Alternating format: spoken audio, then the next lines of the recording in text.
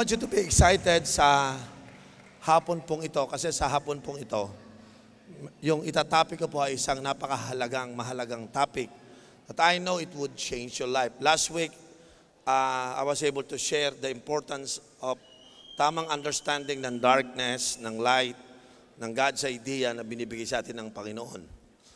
Nakita ko po na maraming mga tao, mas sinahanap nila yung pera kaysa hinahanap nila yung idea. Binanggit ko po last week na ang mga mahihirap, lagi silang naghahanap ng pera kaya hindi sila yumayaman. Samantalang yung mga mga mayayaman, naghahanap lang sila ng idea, ah, tuloy-tuloy po ang pagyaman nila. Parang ganito, para mas malinaw. Ano, ano ba yung idea na sinasabi ko sa inyo? Sabi ko po, yung idea na galing sa Panginoon, binibigay sa tao, sapat po yun para mabago buhay mo. Bigyan kita ng idea. Sino sa inyo nakakita ng daga sa bahay? Yung may daga sa bahay nyo. Nakakita kayo, di ba? Pero hindi kayo naging mayaman. Ang dami nyo ng daga, hindi kayo umaman. Meron akong kilalang tao, nakakita lang ng daga, naging bilyonaryo. Daga. Yung daga, ginawa niyang Mickey Mouse. Naging bilyonaryo. Ano yun?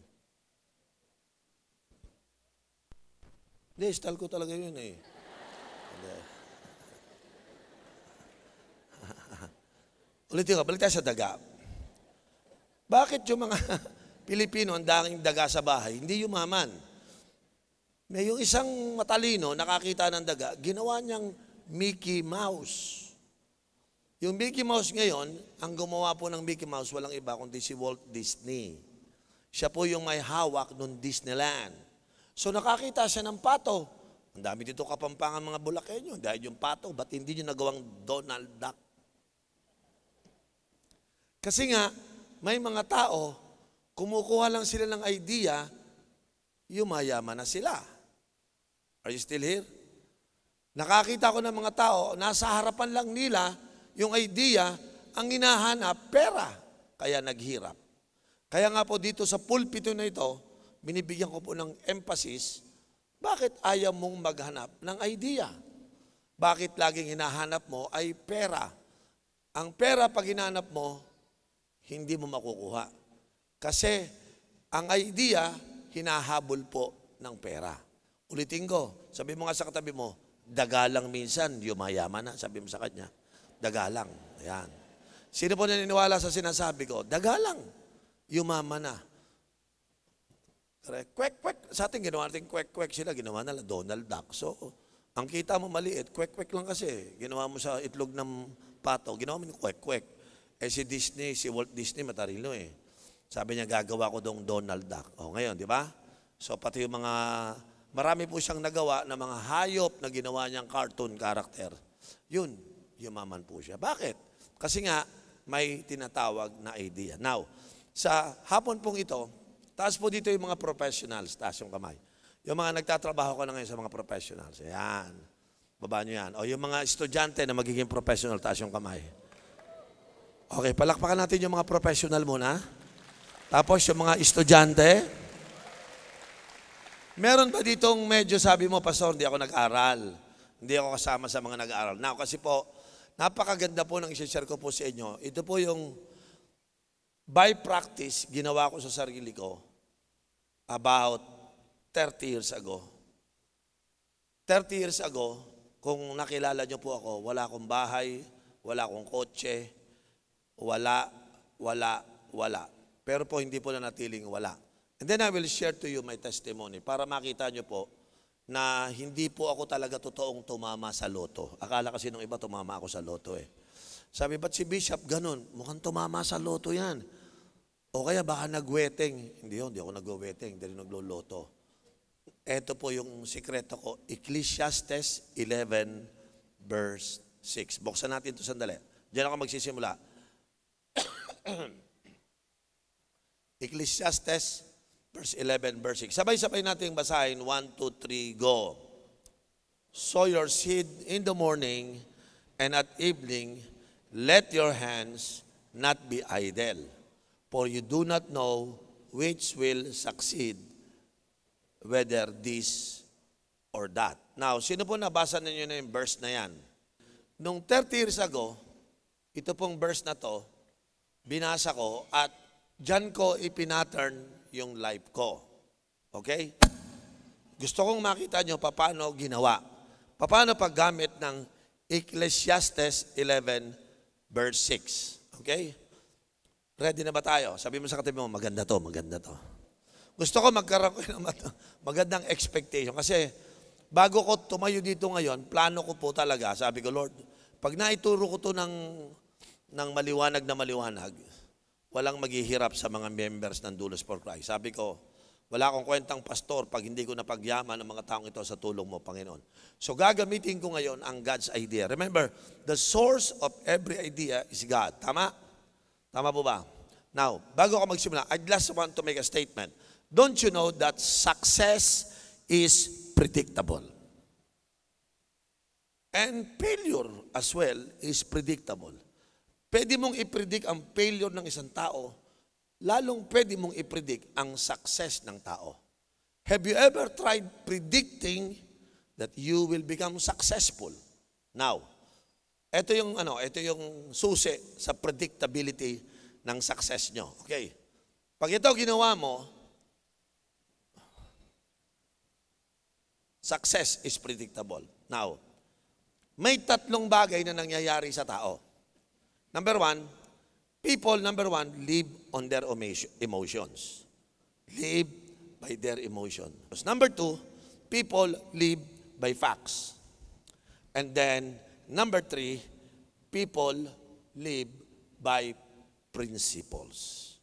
So ulitin ko, no? Number one, people live by emotions or people live by facts and people live by principles. Now, sa tatlo na yan, gusto ko matutunan nyo that you learn how to live by God's principle. Principle, alam nyo ba, principle is unchangeable. Principle is a law. Okay?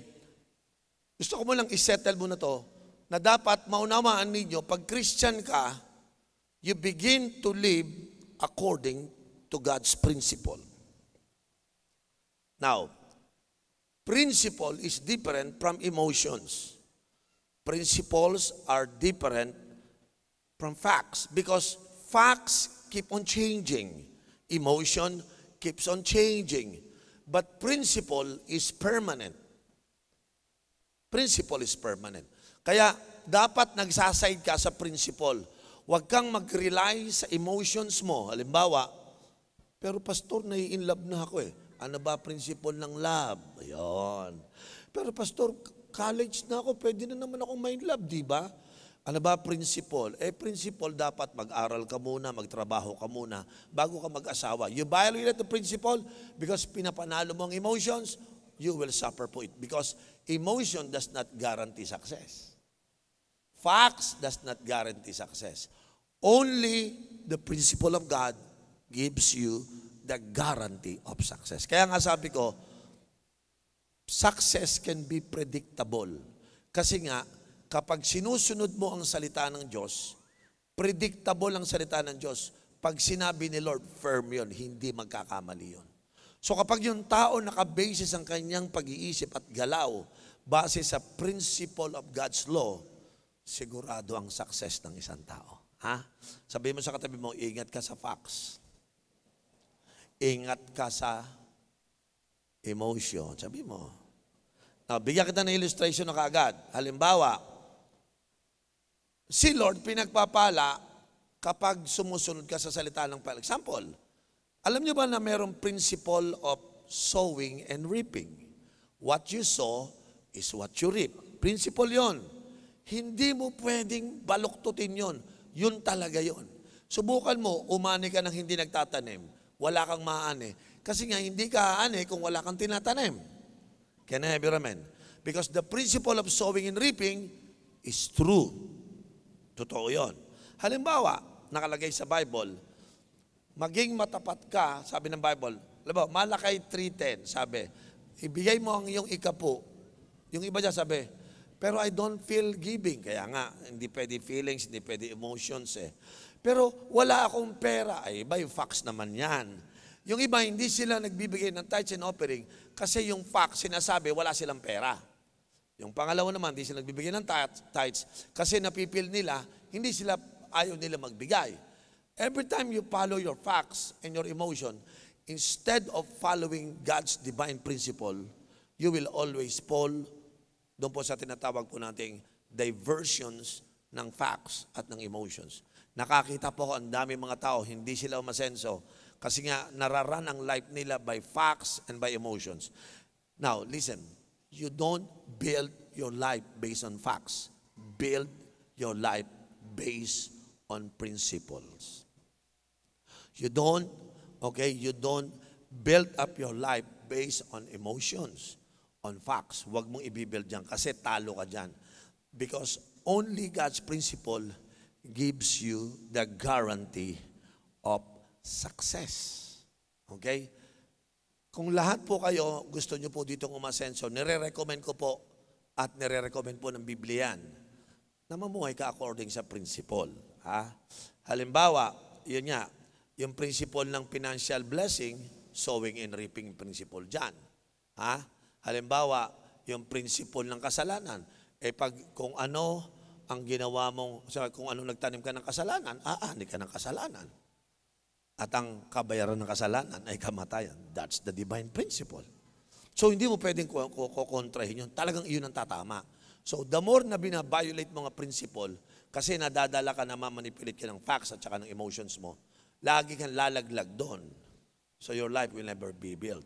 So kaya kinakailangan po, pag nasa, nasa church na po kayo, kaya kami nagpipreach ng Bible sa iyo, it's because I want you to live based on the principle of God's law. Wala naman ako iba tinuturo sa inyo eh. Puro principle to. Tuwing, ina, tuwing pinapakinggan mo yung principle, tuwing pinapractice mo yung principle, ito ay ang favor niyan, ang guaranteed of success mo, mataas yun, 100% magiging successful ka. Kaya nga, sabi ng Bible, this book of the law should not depart from you. Okay, you shall meditate on it day and night. Joshua, Joshua chapter 1 po yan, no? You shall meditate on it day and night. And by carefully obeying it, ibig sabihin nun, you follow the principle of God. Sabi ng Bible, you shall prosper in your ways. Success is sure. Ulitin ko, kunin mo muna sandali. Sabihin mo sa katabi mo, principle gives you the guarantee of success. Ayan. Sabihin mo sa katabi mo, principles gives you the guarantee of success. Kaya pag binasa nyo sa Joshua 1.8 yan, no, sabi, keep this book of the law always on your lips.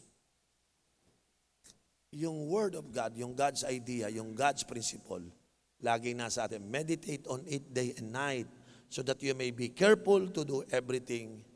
Kaya sabi nyo, carefully do everything written on it. Gagawin mo lahat yung God's principle. Kaya, may, pag may nagtanong sa akin, bakit ang isang tao, Pastor, bakit predictable ang failure? Hindi naman sumusunod sa law yan eh. Pag hindi sumusunod sa mga prinsipyo ng Panginoon, wala na akong ipipredict dyan, kundi isa lang, predictable ang failure ng tao na yan. Halimbawa, Christian ka, nag-backslide ka, predictable, magpe-fail ka. Predictable yan. Halimbawa, ikaw mahirap ka, pero nagbago isip mo, nagsisisi ka ng kasalanan, predictable yan, magiging successful yan. Ha? Yung mga dating hindi, ma, hindi maganda buhay, pero bumalik sa Diyos, predictable, magiging successful ka. Pero yung nasa Diyos ka na, lumayo ka pa, predictable, hindi ka magiging successful. Dahil wala pang nagtestimony na simula nung lumayo sila sa Diyos, napaganda buhay nila. Mga drug lord lang yon, tsaka mga, yung mga smuggling lord yon. Yung mga wala sa Diyos, nagte-testimony yon, effective yung kanilang. Pero sa principle pa rin, principle of life pa rin. At the end of the day, mawawala pa rin yan. Kaya nga, ang malaking hamon sa mga, mga tagadulos, kaya nyo bang mabuhay sa principle of God's law? Pag namuhay ka ng principle ng God's law, nagsimula ka sa galing salita ng Diyos, namuhay ka dyan. Med- medyo dadaanan ka sa correction pa muna, rebuke pa muna, confrontation muna, para lang lumakad ka sa God's principle. Eh kaya lang, pag nilalabanan mo yung corrections, yung rebuke, ah, yung mga training na yan, ikaw ang nawawalan doon. Kaya ini-encourage ko mga taga-Dolosians, pag-aralin niyo itong tinuturo ko. Hindi, hindi po biro ang binabato ko sa inyo ngayon. Hindi to biro. Because I built my life on God's principle. when I begin to build my life by principle of the Bible, after 30 years nakita ko, sabi ko, Lord, tama salita mo. Lahat ng sinabi mo sa akin nung bata ako, totoo lahat eh. Pinuntahan ko yung living by principle, nakita ko, predictable, magiging successful ako. Hindi ako natatakot, kasama ko asawa, yung asawa ko, kasama ko. Ah, yung mga anak. Hindi ako natatakot sa future ko kasi predictable eh. Success is secure when you are living according to God's principle. Kaya nga sabi ko, the principle of God will always gives you the guarantee of success. Ito lang po yung security ni Bishop Oriel na pwede nyo maging security. As long as lumalakad tayo sa God's principle, ah, sabi sa akin ng facts, tinyo, tinuruan, kinumpare ko yung facts tsaka yung principle of law eh, ng Panginoon eh. Kaya mo magpaaral ng anak, kaya mo ganito. Sa PAX, wala kang pera, sa PAX, ganito. Sabi ko, kaya ko. Bakit? Hindi naman ako nag, nagbibuild ng life based on PAX eh. Nagbibuild ako ng life ko based on God's principle. Puro facts ang sa harapan ko, pero tinalo ko lahat ng facts. Bakit? Eh nakatayo, naka-establish ang life ko based on God's principle. Nung kung nagpunta po kayo sa dulos nung una, sinuwelduhan ako ng dulos 80 pesos isang linggo. Paano mabuhay ang buhay ko kung 80 pesos lang a week?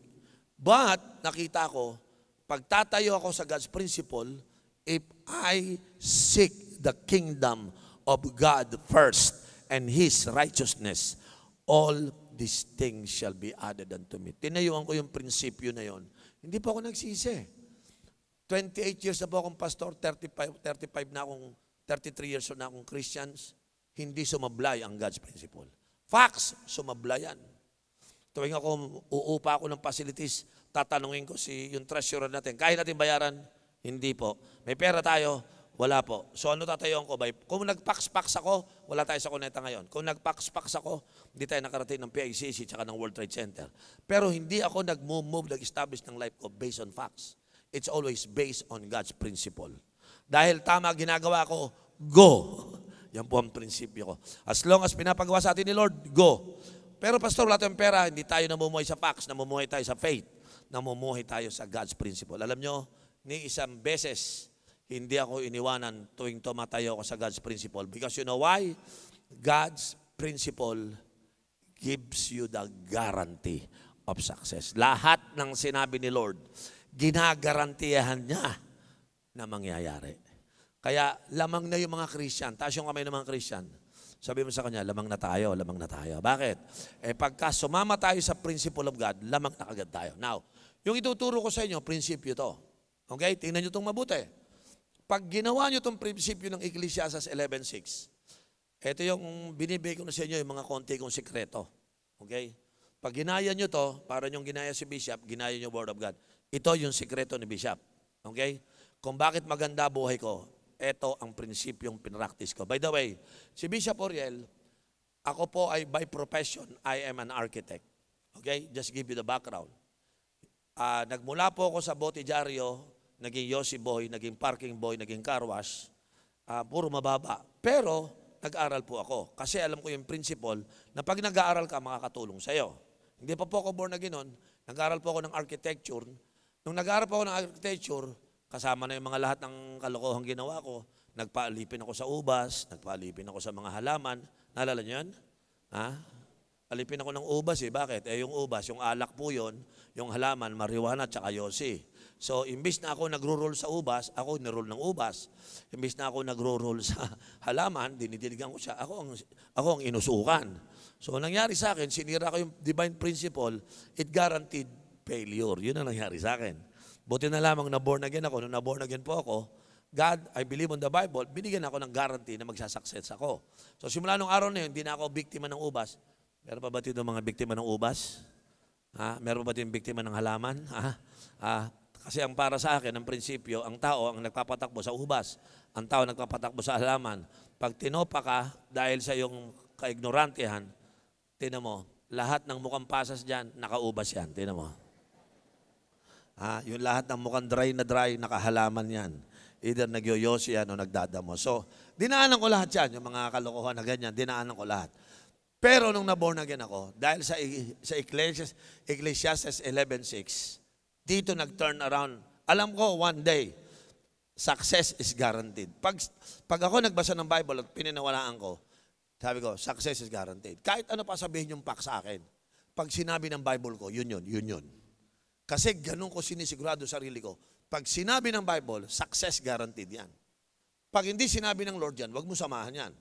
Because most of us would rather believe on facts, will believe the way how we feel, instead of standing on the solid ground, which is the Word of God. The Word of God is the solid ground. The Word of God is the principle. So pag tiniyaan mo yung principle, ano, ano resulta? Success guaranteed. Sino sa inyo gusto nyo makaranas ng success guaranteed? Taas yung kamay. Ha? Ah, baba, may babae ka, nanliligaw sa iyo, gusto mo sa kanya, pero mukhang walang pera. Tapos, ang trabaho, mahina. Pero napansin mo, mukhang may prinsipyo, may principle sa word. Yun ang samahan mo. Ha? Si Ate Jernyo, wala akong pera, pero mukhang nakita niya, may nakatayo ako. Kaya sa Ate Jernyo, malamang yun ang nagustuhan sa akin, hindi yung ganda lalaki, wala yun eh. wala nga nun eh, sabi ko, di ba? Tapos wala rin pera, pero mukhang napansin niya, baka sakali, meron atang ano, merong principle na sinusunod. Kasi nga, pag may principle, may success guarantee. Kaya mga lalaki, huwag kayo basta-basta kukuha porkit maganda. Tandaan nyo, man is not created by beautiful. Ha? They are not created to be beautiful, I should say. Man and woman is not created to be beautiful. Mukhang naguguluhan yung theology nyo ngayon, no? Yeah, you are created by God wonderfully, but you are not created to be beautiful. Kaya kita nyo, lahat ng tao hindi magkakamuka. Kung gusto lang Lord na maganda tayo, lahat pare-pareho na tayo maganda. Pero napansin nyo, pasalamat ka sa pangit dahil kung walang pangit, hindi ka gaganda. You see? Yung pangit, may gamit pa rin, di ba? Tama. Tumawid ka sa mga pangit, gaganda ka, di ba? Pero pag tumigil sa magaganda, papangit ka. Kaya sa lahat ng pangit, nagpapasalamat po ako sa inyo. Ganun ba yung grace? so, ready na ba tayo mga kapatid? Ready na, ready na. Okay, kasi gusto ko i-share sa inyo, balikan mo yung verse natin. Ito ha. Sow your seed in the morning. And then, at the evening, let your hands not be idle. Sandali. Bakit parang nagtatrabaho na sa umaga, nagtatrabaho pa sa gabi? Napansin nyo? Ang prinsipyo ganito, dapat lahat ng mga tagadulos nagtatrabaho sa umaga at nagtatrabaho din sa gabi. Pero teka muna, sandali lang. Lilinawin ko to. What is the difference between job and work? Kasi sa atin, ang tingin natin sa job tsaka sa work, pareho lang yan. Hindi po totoo yon. Job and work is different. Dito sinasabi ng Panginoon, sow your seed in the morning, it means you have to work hard for your job. Yon. Pero sa gabi, at the evening, let your hands not be idle. Sa gabi, may gagawin pa rin. Now, ito yung problema. Bigyan ko muna kayo problema bago ko ituloy. Maraming young adult ngayon nagtatrabaho. Pagkatapos ng trabaho, meron silang tinatawag na TGIF syndrome. Alam niyo yan? Yung thank God it's Friday. Yan. TGIF syndrome. Karamihan mga young adult, Nako, baka nabiktima yung mga taga-dulos. Ang utak ng marami, pag nagtrabaho, 9 to 5, pagdating ng 5 yan, gimmick na tayo pare. Bakit? Pagod tayo. Mag-inuman tayo, mag-ano tayo, mamasyal tayo. Wrong. Alam niyo po ba, karamihang businessman na naging billionaire, the key to their life is the time 6 to 10 o'clock in the evening. Tingnan niyo to. Parang ganito the future of your life depends so much after five. Diyan nakadepende ang future mo. Siguro ngayon mo lang ito nadidinig. Hindi ka pwedeng mamuhay na habang panahon, puro job. You know what is job? You are working for somebody and you are like a person na under hostage, work ka ng work para ibigay sa kanyang trabaho mo in exchange ng maliit na amount to earn a living. So nagtatrabaho ka, so sweldohan ka naman. Kaya lang yun ang pambayad mo ng pambayad mo ng pagkain, ng bahay, ng bills. Kaya ka may job to earn a living. Doon maraming naghihirap kasi lagi siyang under ng amo. Tingnan nyo to. Alam nyo po ba sa Pilipinas, kaya hindi makuha ang Ecclesiastes 11.6? Kasi nabuhay tayo sa ating kapaligiran na kultura natin na hindi tayo ini-encourage maging isang leader. Karamihan sa atin ay ini-encourage tayo na maging employee. Nadidinig niyo ako? Kaya, pag pumunta kayo dito sa Doulos for Christ, majority are employee. Pero I believe, hindi mananatiling habang panahon employee yung mga taga-Doulos for Christ. Because one day, ang mga taga-Doulos for Christ, dahil matututunan ng Ecclesiastes 11.6, marami sa inyo magiging employer. Tinan mo, hindi makapaniwala. A- a- ako? You see, biktima ka ng kultura. Biktima ka eh. Kasi nga, ang mga taong biktima ng kultura, hindi sila naniniwala na kaya nilang maging leader, na kaya nilang maging employer. Kailangan, hindi sila makapaniwala that they are born leaders and they are willing to die as follower. Please, taas yung kamay naniniwala you are born a leader and you will never die as a follower. No?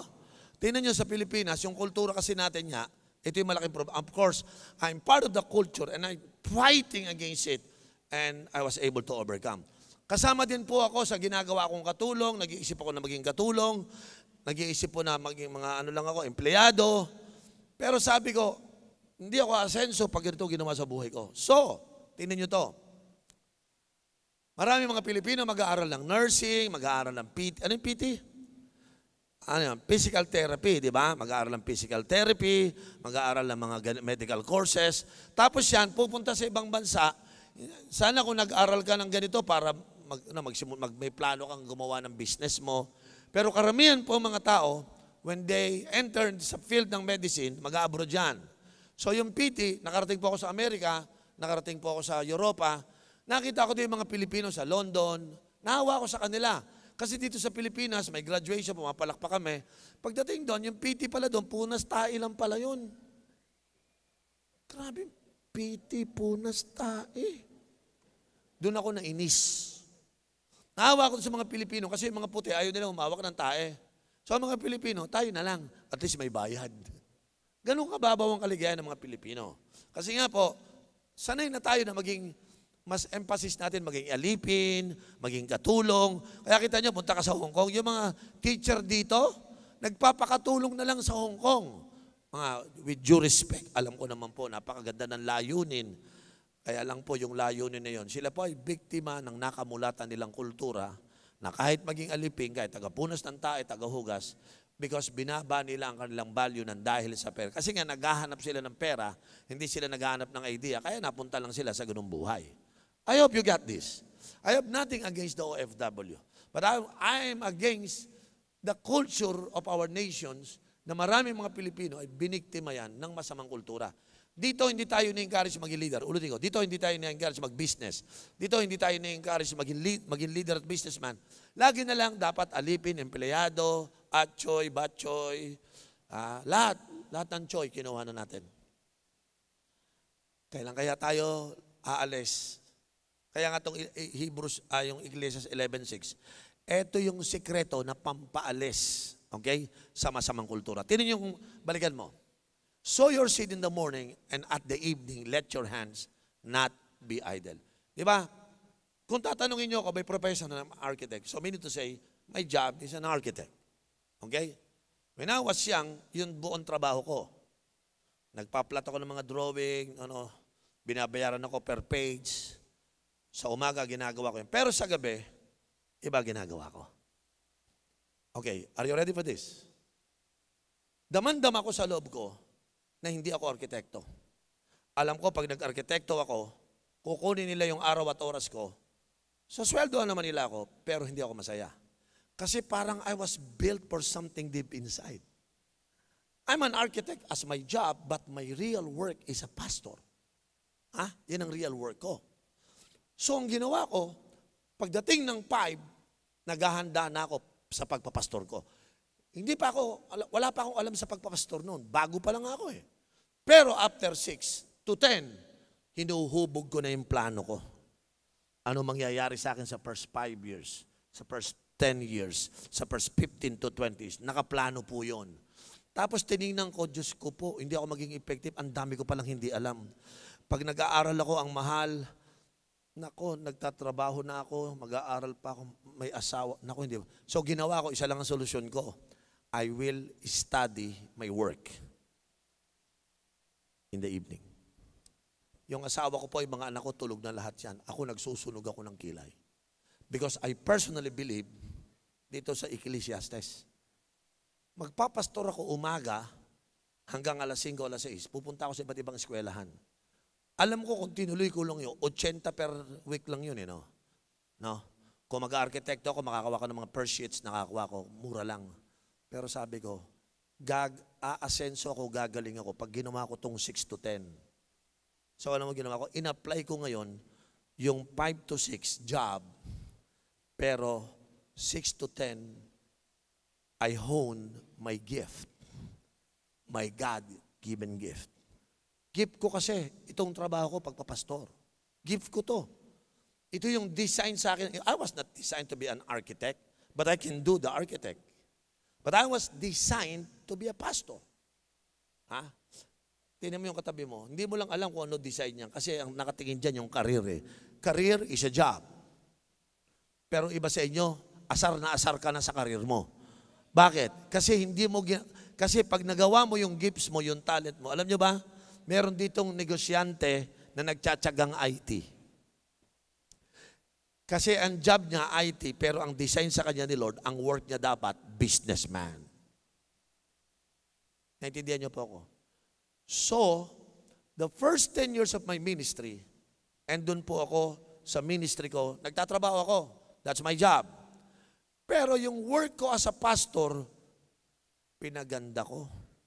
Nag-aaral ako lahat ng books. Hindi ako makapasok sa eskwela, bibili ako ng books, pag-aaralan ko uh, hindi ako makakuha ng course na yon pag-aaralan ko. Kaya si Bishop Uriel, kahit hindi po ako gumraduate ng seminaryo at Bible school, alam ko yung pinag-aralan doon. Bakit?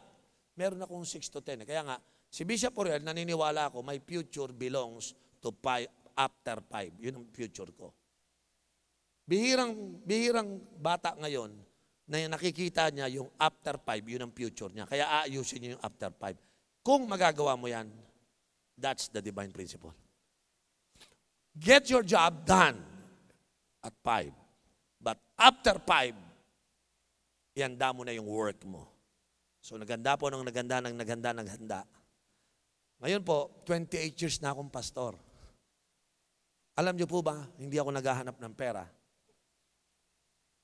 Ako po ang hinahanap ng pera. Kasi po, meron na akong na-prepare sa sarili ko. Now, may bibigay ako sa inyo. Tingnan mo na yung kapatid mo, sabi mo sa kanya, ano, Ha? After five na tayo, sabi mo sa kanya. Sino rito yung willing mag-work ng after five? Taas yung kamay. Ha? Sino gusto magandang future? Nasa after five po yan. Nasa after five. No?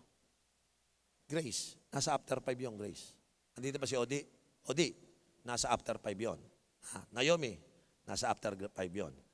Dulosians. Ang susi, wala sa karir. Wala sa trabaho. Nasa after five yan. Kasi, wag mong ka mamatay dun sa karir mo. Huwag kang mamatay dyan sa tinatawag mong trabaho mo. Puntahan mo yung God-given gift sa iyo. Doon ka nakadesign. Tingnan nyo, hindi ito naintindihan ng marami. Nakakita na ba kayo ng isang ibon na nag-flying school? Ha? Pagkapanganak niya, marunong na kagad siya lumipad. Tama. Eh yung ano, isda, nag-swimming lesson. Nakakita na kayo? Wala rin. Bakit? Kasi nung ginawa sila, meron silang built-in something na kayang gawin. Tama po ba? Amen.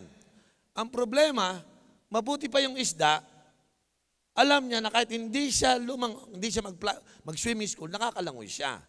Yung ibo naman, kahit hindi siya mag-flying school, nakakalipad siya. Kasi nga, meron na silang built-in ability na ginawa ng Diyos para maging successful sila.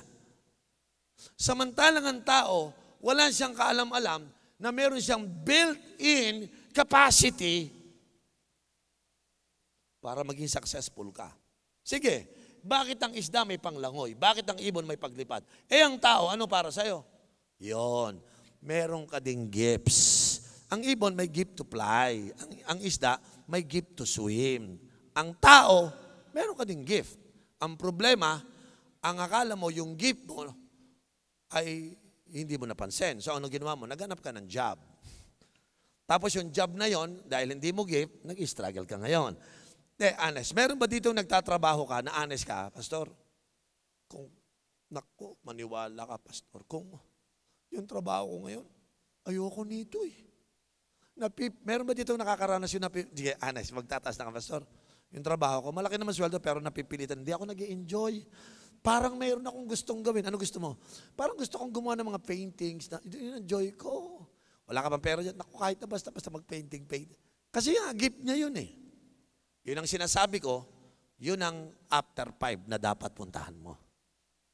Nako, maniwala kayo. Diyan po maraming nagsimulang negosyante, diyan po maraming nagsimulang nakadiscover nung kanilang gift. Tingnan mo yung katabi mo, ha? Ano kaya gift niyan? Ha? Are you mga kapatid? you know, there are two keys to success. Sulat niyo po to, two keys to success.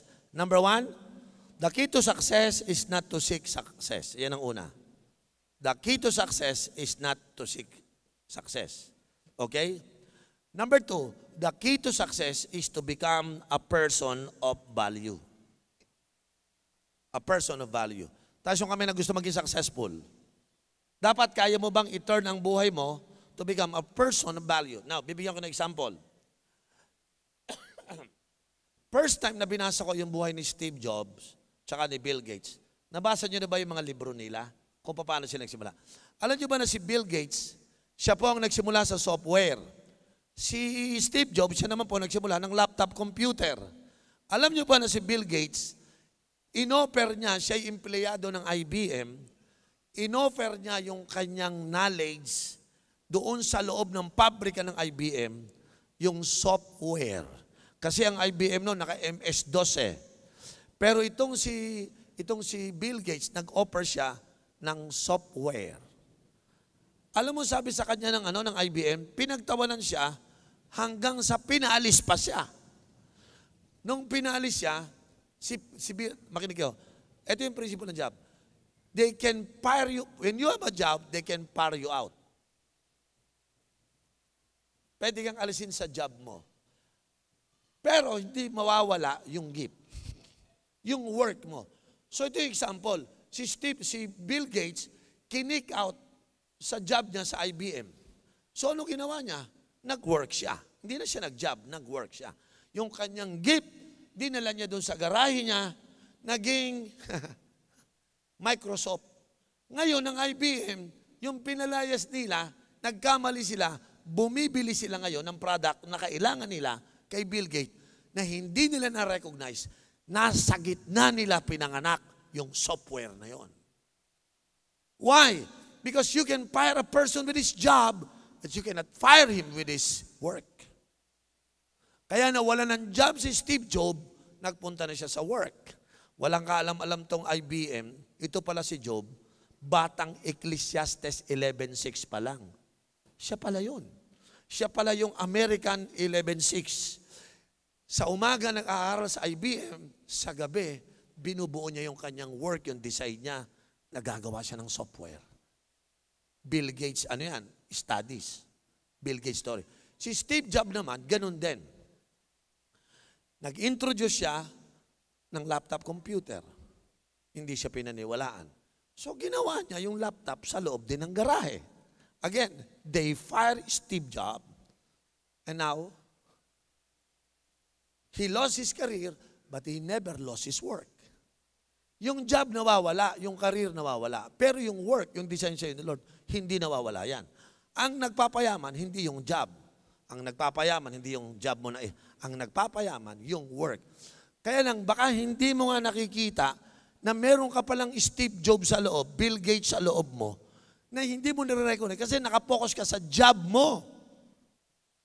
Sana mag niyong mamisto. Ha? Baka kayo nagkakandara pa sa karir mo, sa job mo, napapabayaan mo yung God-given gift na dapat work mo. dapat kahit nagkakarir ka, ituloy mo yung karir mo. Yung job mo, ituloy mo. Pero, tanungin mo sa Lord mo, Panginoon, ano ba ang gift ko? Well, si Steve Jobs, yun ang gift niya. Si Bill Gates, yun ang gift niya.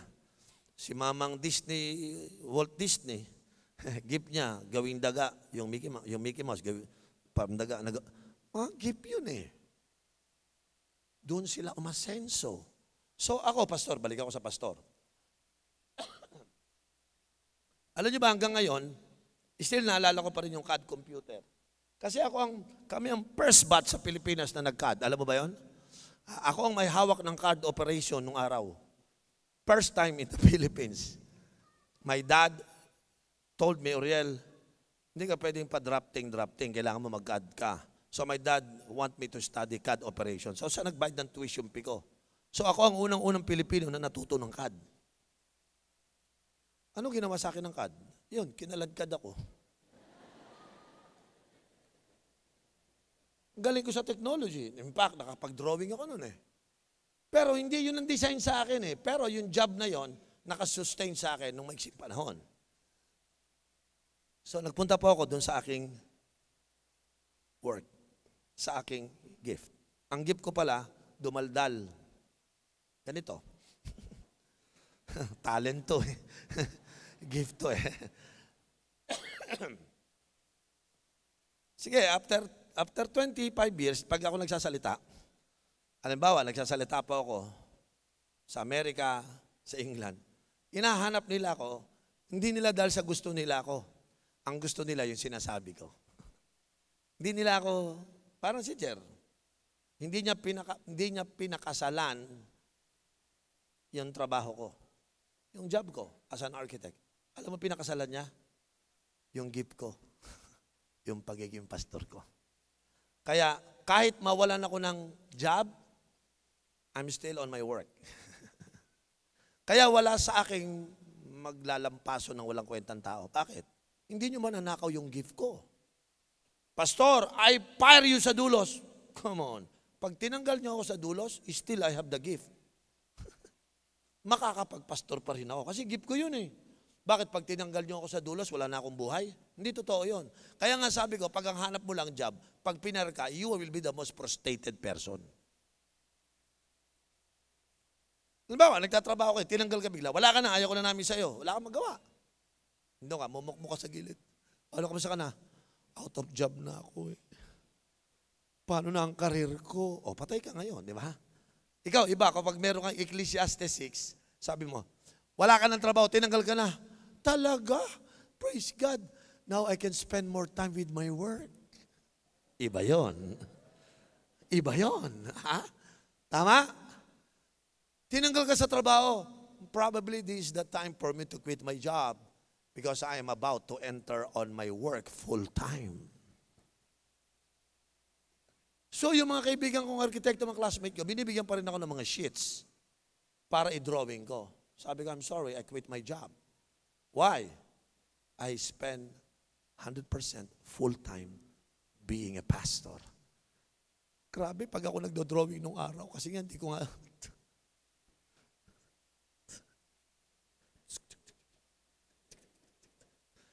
hirap na hirap ako. Pero yun ang course ko, yun ang job ko. Pero alam niyo, pag mag-aaral na ako patungkol sa salita ng Panginoon ipipreach ko, kahit magdamag, walang tulugan, kaya ko. Kasi nga po, yung gift mo, naron ang passions mo. Nandiyan niyo ako? Andyan po yung passions niyo. Kaya, ang gawin mo ganito. Gawin mo ganito. Gawin mo sarili mong isang person of value. Say that word, person of value. Ito po mahalaga kasi. Now, money, principle ah, money is attracted to value. If you make yourself valuable, then money will follow you. Ganun po yon. Ang problema po kasi sa atin, marami tayong pinag-aralan pero wala tayong value. Why? Let me explain value. Value, sulat niyo po to. Number one, may value ang isang tao pag meron siyang sense of significance. Tulad ito, nagpapastor ako, ang tindi ng sense of significance ko dito. Kasi nararamdaman ko, kung yung mga batang ito, maturuan ko ito ng future nila, I save a family, I save a someone's life. For me, my job is so significant. Lalo ngayon, no? Ngayon, meron ditong yayaman kaagad. Dito, merong ditong mag- mag-iisip na mabuti na kaagad. Well, that's my job. I just make people significant. And for me, that job is a very significant job. Tama po ba? So, I should say significant work. Now, ang value mo nasa significance mo. Number two, sa uniqueness mo. Uniqueness. Okay, so gumawa ka lang parang ganito. Subukan mo, gumawa ka ng sapatos. Pare-pareho may sapatos, walang bibili sa'yo. Ano kaya? Gumawa ka ng sapatos para sa mga nurse lang. Nurse lang. Nurse lang. Ba't ayaw mo gumawa ng sapatos? Ayoko, gusto ko nurse lang eh. Bakit? Gusto ko maging unique ako eh. Alam mo, one day, masisikat ka sa buong bansa na mayroong isang taong gumagawa ng sapatos na pang nurse. Magpatayo ka ng malaking bahay, yung nurse. So lahat ng estudyante, kung kailangan mo ng sapatos na nurse, ay, andun. Sa ano. So lahat ng mga student nurse ay bibili ng sapatos. Lahat ng mga nurse, pag pumunta sila sa abroad, magdadala sila ng sapatos ng pang-nurse. Bakit? Pang-nurse yun eh. Ayaw kong gumawa ng sapatos na ang nurse naka Jordan. Hindi bagay, di ba? Ah, tama, tama. Nurse na naka Kobe Bryant, di ba? O kaya nurse na naka Stephen Curry. No. Gumawa ka ng sapatos. So, kasi, you know, uniqueness is there. Number three, originality. I'm teaching you business right now. Ha? Ano yung una? Dapat, meron tayong significance. Pangalawa, meron tayong uniqueness. And then number three, meron tayong originality. And then number four, specialization. So I practice this. Una, ang job ng isang pastor katulad ni Bishop Uriel ay very significant. Tinutulungan ko mga kabataan from different campuses. I bring the gospel to them and then after bringing the gospel to them, we try to help them not to be affected by the culture katulad na sinasabi ko sa inyo kanina. But if I bring the message, I need to be unique. And then, hindi lang po unique, dapat magdala ko ng mensahe na meron akong originality. Tapos meron akong specialization. Yun po, si Bishop Oriel, yung apat na yun, nakasulat ba yun? Lagyan mo nga kapatid, yan o. No? Sense of significance, uniqueness, original, specialization. Nasa buhay ko po yung sinasabi ko sa inyo. So, nang, ang minaster ko, G12.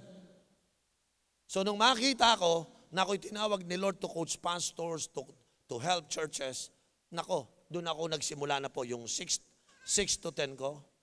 Good. Okay? Good. 6 to 10, nag-aral po ako ng G12, 6 to 10 for so many. Ah, nasa G12 na po ako ng 12 years. And dito po sa Pilipinas, si Bishop Oriel, yan po yung aking sense of significance, yung aking uniqueness, yung originality, at ang aking specialization. Alam nyo ba, ini-invite ako sa ibang, iba't ibang bansa because I specialize on something. In fact, I present the truth with my own originality in a unique way. So ginawa ko po ito, nung ginagawa ko po yung originality, uniqueness, specialization, wala akong, hindi ako nagtuturo ng maraming, maraming, marami. Isa lang tinuturo ko, G12. So sa buong mundo, pag naghahanap sila ng sino yung marunong mag-specialize sa G12, namimiss nila ako bigla. Bigla silang tatawag, mag email Bishop, pwede ka bang ma-invite? Kasi I carry the value. Naintindihan niyo ako? So pag in-invite ako, wala ba dito mga kidnapper? Kasi baka kidnapin ako eh. Wala ba dyan? Wala ba? Pag in-invite nila ako, they paid me so much money. Halimbawa po, ah, to illustrate lang po, halimbawa, bibigyan ka ng per session, $500 or $1,000 per sessions. Noong araw, pag ako nag-preach, 80 pesos. Pero posible pag ako nag-preach, isang session, $1,000. Magkano $1,000? 50,000. Di ba? So kung 50,000 yon, eh kung lagi ko ini-invite, yun na, sinasabi ko sa iyo, money was attracted to value. Naintindihan niyo mga kapatid? Sino sa inyo naramdaman mo, pinanganak ka dahil sa IT? Galingan mo. Baka diyan ka nga tinawag. Ha?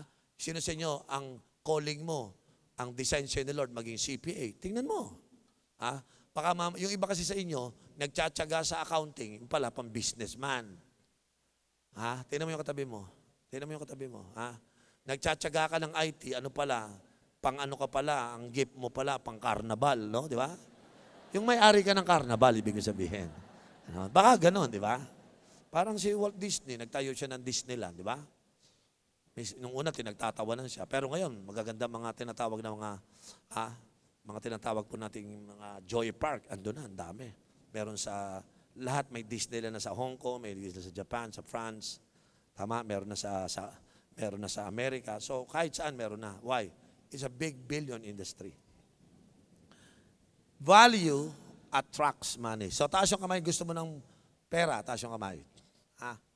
Tingnan mo, bakit ang sweldo mo lang 30,000? Eh, lang ang value mo eh. Tama. Kaya nga, di ba, in-encourage ko kayo, pag nag-aral kayo, mag-masteral degree kayo, mag, ano kayo, mag-doctorate degree kayo. Bakit? Kasi tumataas din naman yung value mo doon. No? So, ganito lang yan. Balikan ko yung verse. Ecclesiastes, tingnan mo. Sabi ng Ecclesiastes, sow your seed in the morning, your job. And at evening, let your hands not be idle. That's your work. Tama? Mag-iba yun, no?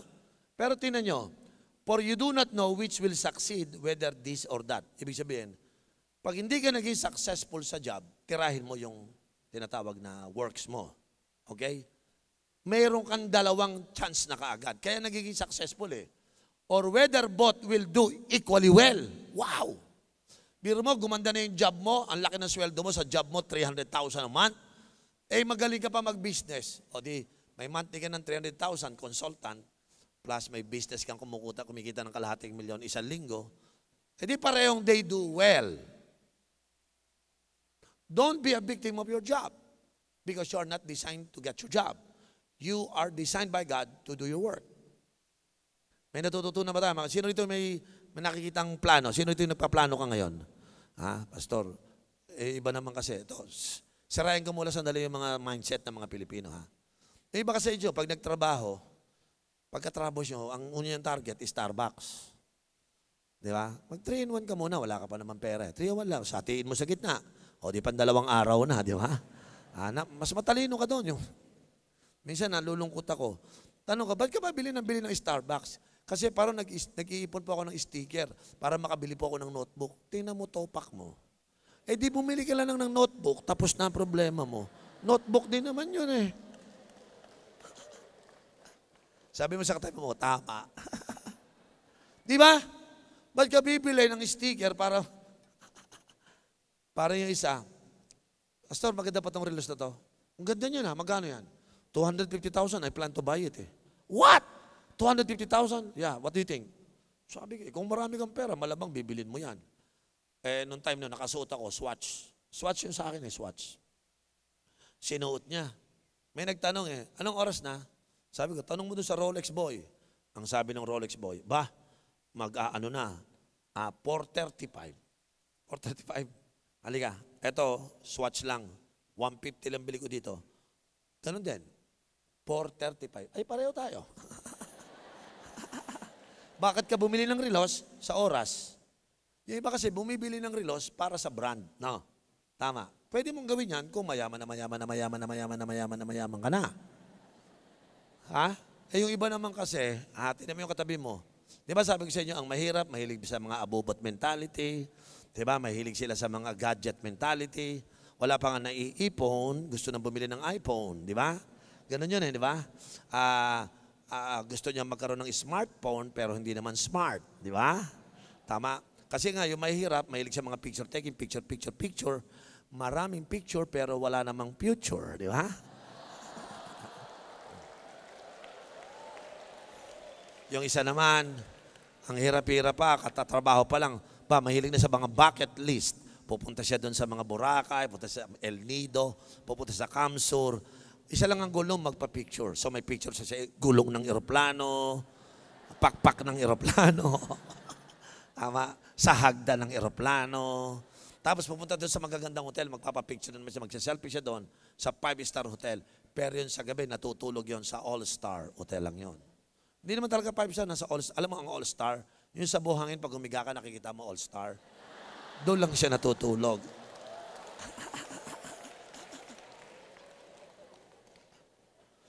Kasi nga po, yung mga middle class people, masyadong ano eh, masyadong mahilig sa forma. Di ba? Ang dami niyang bucket list, may tatalon dito, may pupunta doon, may sasakay doon, may pupunta doon. Puro bucket list, pero hindi siya nagtatanong kung bakit. Bakit? bakit may bucket list ka? Bakit naghihirap ka? Tanong mo yan. Dapat yun ang mga bucket list mo. Bakit ako mahirap? Bakit ako laging walang pera? Yan ang mga tunay na mga bucket list. Sino po may natutunan ngayon? well, that's my uniqueness. That's my specialization. Kaya nga sabi ko sa inyo, that's my originality. Hindi ko kinopya yan. So, ibig sabihin, ako, may unique value ako where people like me because of my uniqueness, my originality, my specialization, and my significance. Lahat kayo may ganun din, hindi lang ako. Ha? Sinasabi ko lang ito sa inyo para maunawaan niyo. Kaya yung mga may hirap, huwag kayong, huwag kayong masyadong atat sa pera. Atat dapat. Pataasin yung value mo. Yung iba sa inyo, kita mo lang singko kasi tagsisingko ka lang talaga. Amen. Bakit sila nakakabili ako? Hindi, kaya siya may value kaya nakabili. Ikaw hindi ka makakabili nun kasi wala ka pang value. Kaya gawin mo, i-work out mo yung value. Saan ginagawa yung value na yon? Yun nga po, future belongs to after five. Pag-aralan mo yung after five principle. Sino rito yung willing mag-practice ng after five principle? Come on, taas yung kamay. Tama. Sabi nila, life begins at the age of 40. Hindi po, life begins after five. Sino rito yung magpa-practice ng after five strategy? Pastor, 11.6 na rin ako. Gawa kayo tayong t-shirt sa dulos. Ecclesiastes 11.6. Bakit kayo may t-shirt na ganyan? Bakit? Hindi na kami naghahanap ng job. We are now working on our work. Yung maniniwala sa akin ngayon dito, yung pinipreach sa inyo, 5 to 10, ano, baka ba 2020, isa ka na sa milyonaryo dito. Maniwala kayo sa akin. Yung mga mag-after 5 strategy, kaya yung iba dyan, yung pera, hindi niya nagagamitin yan, tatago niya na yan. Kasi nagpaplano, kasi ang five, after five, magplano ka na ng future mo. Yung, yung passion mo, yung gusto mong gawin, yun ang isulat mo. Ha? Yung iba sa inyo, mayroong ano, may ginawa ni Lord para kayo gumawa ng magagandang sasakyan. Kaya lang, mas ginam IT na lang. Iba nga sabi, call center na lang. Yung iba, bumagsak lang sa call center, pero talaga, hindi naman talaga yung call center ang design sa'yo ni Lord eh. Ang daming bata na damage sa call center. Kasi nga, mga Pilipino, utak, alipin lang eh, no? Magkano siya, 30,000? Mag-call center na ako. Tanga, hindi ganun yun. Porque 30 mil, masaya ka na. Tingnan mo. Ginagamit ko na yung salita na yan eh, para matauhan yung iba eh. Yung iba kasi, yung ignorance kasi sa Bible, darkness yun, eh, ignorance, tanga yun eh.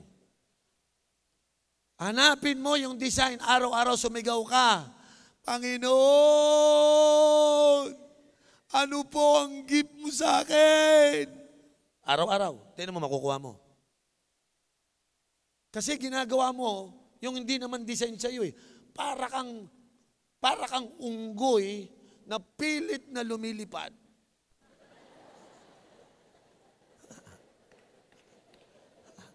Hindi naman lumilipad ang unggoy eh.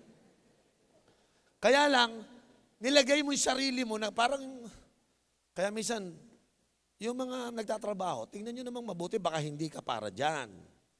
O kaya, sabi ko nga, baka ito nga yung pang morning mo. Ha? Dito sa Dulos for Christ, marami dito yung morning nyo tama. Marami, maniwala kayo. Or getting your job, to earn a living, good job. May job ka, good yan. Pero wag ka titigil dyan. Puntahan mo yung pang-evening na planning mo where you were designed to do something big for God. Yun ang assignment mo kay Lord eh. No? Nakakita kasi ako ng mga tao, mga kapatid, nag-aral ng, ng computer engineering bandang dulo, naging contractor, building contractor. Sabi ko, ano, ano connection yung computer sa building contractor? Pastor, yung computer, course ko lang talaga yun eh. Pero ito talaga passion ko. Gusto kong mag-build eh. Gusto kong gumawa. Sabi ko, yan ang, yan ang trabaho mo talaga. Diyan ka talaga dinesign. Pag meron kang ginagawa ngayong trabaho mo at di ka masaya, ibig sabihin, hindi ka dyan. Ha? Kung, kung normal, ano pipili mo? Pastor, arkitekto. Siyempre, pipili mo arkitekto. Pero ako na nakakakunawa, sabi ko, no, Ayoko niyan. Hindi ako para dyan. Dito ako. Pastor ako. Amen? Kung ako nag-arkitekto, mahirap pa rin ako ngayon. Kasi tuwing trabaho ko, naiinis ako eh. Nagi. Pero pag pastor ako, pag preachin mo ako umaga hanggang gabi gagawin ko. Hindi ako napapagod. Nung isang araw, nag-training po kami sa, ano, sa Antipolo. Sabi sa akin, Pastor, asan yung team mo? Anong team? One-man show ako ngayon. Bakit? Pastor, kayo po magpipreach hanggang umaga hanggang hapon. Let's do it. Tinapos ko umaga hanggang hapon, ako lang nag-preach. Oh. Pastor, paano mo nagawa? Sabi ko, I enjoy it because I am created for this. I was born for this. Saya-saya ko. Ako nag-preach, pagod na pagod ako. Pero enjoy ako. Bakit? Yun ako eh. Tignan mo yung katabi mo. Tama, malungkot yan. No? Ah, kasi nagtatrabaho yan. Nag, nagja-job lang yan eh. ha? So, sino sa inyo mag, magja-job pero maghahanda sa work? Taas yung kamay. Pastor, magtatrabaho ako pero paghahandaan ko na yung work ko. Ha? Ha? Kapatid, tip ko sa inyo to. There is magic after five. Maniwala kayo sa akin. May magic yun. Baka maglakwatsa. Pag 5 o'clock, magplano ka. Ano yung strategy mo sa business mo? Tingnan mo kung saan ka magaling. Ihanda mo. Ah, kailangan ko ata mag-aral pa. Kailangan ko pa ata. Pag-aralan mo. Tingnan mo, after 5 years, iba itsura mo. Tingnan mo katabi mo, iba itsura niyan. After 5 years, baka mangutang ka dyan. Tingnan mo. Palakpakan natin ng Panginoon.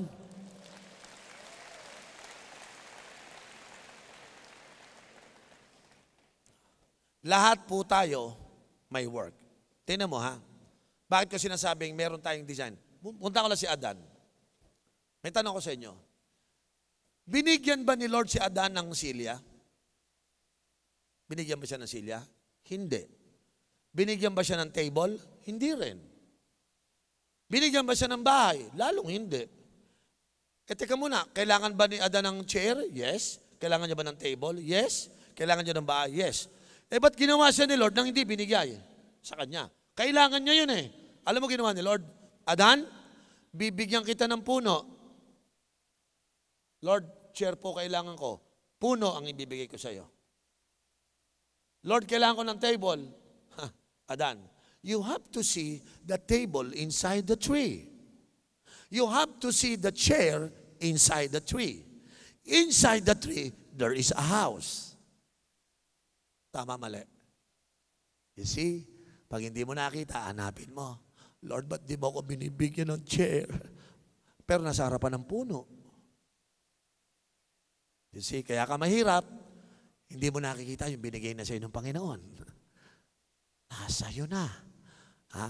Sabi mo sa katibo, may puno ka ba? Lahat ng may puno, may chair. Lahat ng may puno, may table.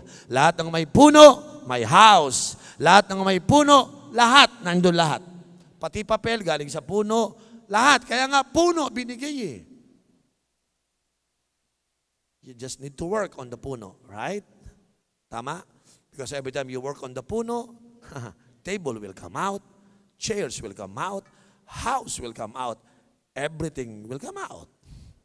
Kaya, si Lord, hindi siya gumagawa ng, pun, ng ano, ng chair. Hindi siya gumagawa ng table. Nagbibigay lang siya ng puno na i-work mo. Yan. Sino po may naunawaan ngayon?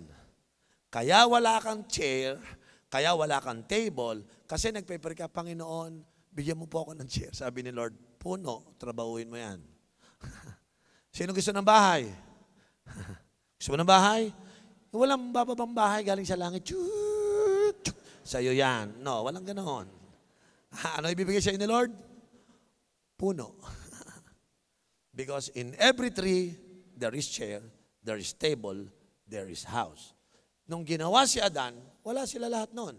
Sabi ni Lord, ilalagay kita sa garden. O yan, bahala ka na dyan. Work on the ground.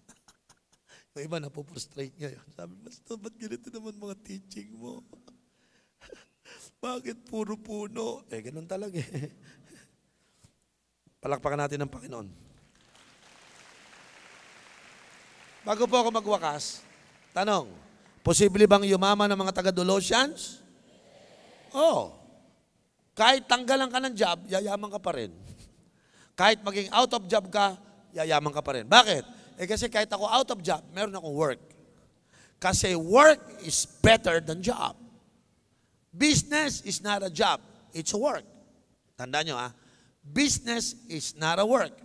Oh, it's not a job. It's a work. Kaya nga, ang Lord, kinreate ang mga tao para maging leader. Sa Pilipinas, ang mga Pilipino, kinreate para maging employee. Doon tayo na damage. Kaya bahagi tayo ng third world country. Pero ako, nakalaya po ako. Hindi ko pinapektuhan ang kultura sa buhay ko. Sabi ko, Lord, hindi ako magpapa-impluensya sa kultura ng mga Pilipino. Amen? Kasi sa Pilipinas, nanay tatay mo, napansin mo tatay mo, they don't come to you to develop you as a leader. Hindi kayo tinevelop as a leader. Tama po ba mga kapatid? Hindi tayo, laging in-encourage tayo pa rin para puro pang service, hindi pang leadership. Sa totoo lang po, pinanganak tayo sa Pilipinas that never believe on us. Hindi sila naniniwala sa atin. Kaya nga, dahil hindi, tayo nanin, hindi sila naniniwala sa atin, hindi na rin tayo naniniwala sa atin. Kasi ang akala lang natin, kahit ako nurse, kahit ako physical therapy graduate, sige po, payag po ako dyan. Tiyaga lang basta magkapapera. Kahit ako po magugas ng puwet, pwede po sa akin yan. Ang mahalaga po, naglilingkod naman tayo. Naawa ko sa mga Pilipino because they live in a culture that does not believe on them. Naawa ko sa Pilipino dahil ginawa lang silang alila, pero para bang ang Pilipinas, pang employee lang talaga. I don't believe that. Sa totoo lang, I try to come out from that culture. Hindi ko pinadiktahan ang sarili ko na maging empleyado. I believe that God has designed on my, my life. Hindi ako gumaya. Umalis ako. Lahat ng mga babe shop, nakabarong, ako naka-short. Sabi ko, I don't need a title, I don't need that kind of things. I just want to be me. Well, to tell you honestly, natutunan ko po. Tama, tama ang Diyos. Bibigyan ka ng puno, and dun sa loob ang kailangan mo.